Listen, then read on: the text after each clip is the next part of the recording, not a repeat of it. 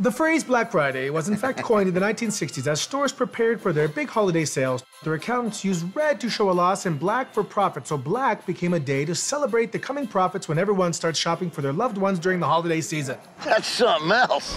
I got an idea. Let's skip the history lesson and give these good folks some tips on how to survive this wild shopping day. I love it! Tip number five get yourself in the Christmas spirit by decorating your home. In honor of Christmas and Noel, I bring to everybody Larry's Spectacular Parade of Lights. And what does that have to do with shopping? Nothing, actually. I just wanted to see you get shocked again.